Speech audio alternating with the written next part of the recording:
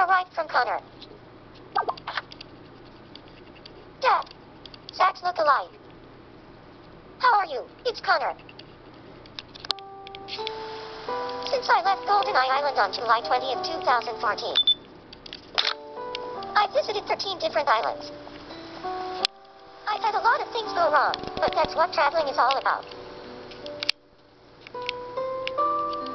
I'm currently staying on Limbo Island.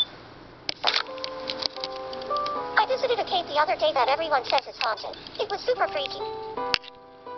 Everyone here has been so nice to me that my level went up to 6.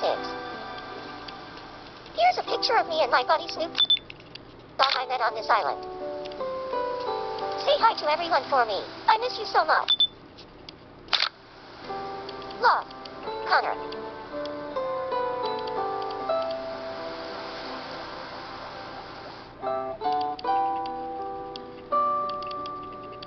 It's so nice to hear from Connor.